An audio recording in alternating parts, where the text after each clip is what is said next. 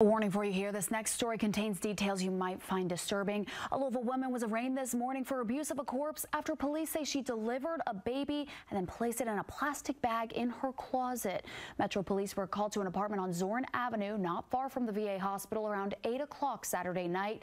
They say 22-year-old Daira Mejia Aguilar admitted to giving birth on Tuesday, then wrapping the newborn in a blanket, placing it inside a trash bag, and hiding it in a closet. She later moved the baby to her trunk which is where police found it on Sunday.